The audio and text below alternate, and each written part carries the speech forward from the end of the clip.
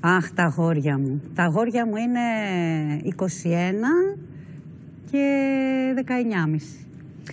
Πώς σε αντιμετωπίζουν, Ε, Ως ενήλικες μιλάμε πια. Είναι συγκλονιστικό και συγκινητικό κάθε φορά που μιλάω μαζί τους, γιατί σπουδάζουν και μου δίνουν συμβουλές, ε, τους δίνω, μοιραζόμαστε.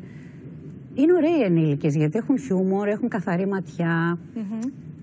Είμαι πολύ χαρούμενη για τα παιδιά, περήφανη και νομίζω ότι αν μπορώ να πω μπράβο που είμαι από τους ανθρώπους που δύσκολα λέω μπράβο στον εαυτό μου, ένα μπράβο θα το δώσω για τα παιδιά. Δεν παίζει όμως και πολύ μεγάλο ρόλο η καλή σχέση που έχεις με τον πατέρα τους. Ε, φυσικά. Γιατί αν δεν είχε γίνει αυτή η σχέση καλή, δεν θα είχαμε εξελιχθεί. Ούτε τα παιδιά μου θα ήταν έτσι όπως τα καμαρώνω τώρα, ούτε όλο το σύστημά μας αυτό που είναι μια οικογένεια θα λειτουργούσε Ναι. με τον ίδιο τρόπο. Ήταν εύκολος ο χωρισμός με τον Δημήτρη; Όχι, ήταν πάρα πολύ δύσκολος και πόδινος. Αλλά μ, επειδή ήταν μια κατάσταση που δεν μπορούσε να συνεχιστεί και φαινόταν από την αρχή. Δηλαδή, πριν γίνει το πρώτο παιδί, φαινόταν ότι. Αλλά ο έρωτας και η αγάπη είναι άλλο πράγμα. Οπότε προχωρήσαμε στο να κάνουμε ένα παιδί. Όταν κάναμε το πρώτο παιδί, ήμουν σίγουρη ότι θα χωρίσουμε όπου να είναι. Και τελικά κάναμε και δεύτερο παιδί.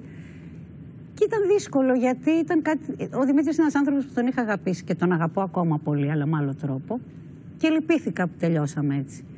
Αλλά επειδή είχα τα παιδιά που ήταν μεγάλος έρωτας, μεγάλη αγάπη, ε, δεν μου ήταν τόσο δύσκολο.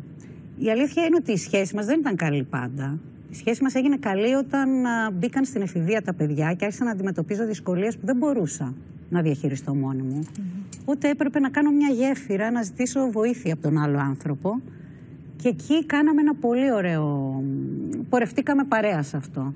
Ήταν και ο Δημήτρης πιο όριμος, είχαν περάσει τα χρόνια και νομίζω ότι έχουμε μια πολύ ωραία οικογένεια. Ακόμη και αν δεν ζούμε στο ίδιο σπίτι, είμαστε ειλικρινείς. Τα παιδιά μας ξέρουν τα πάντα για μας.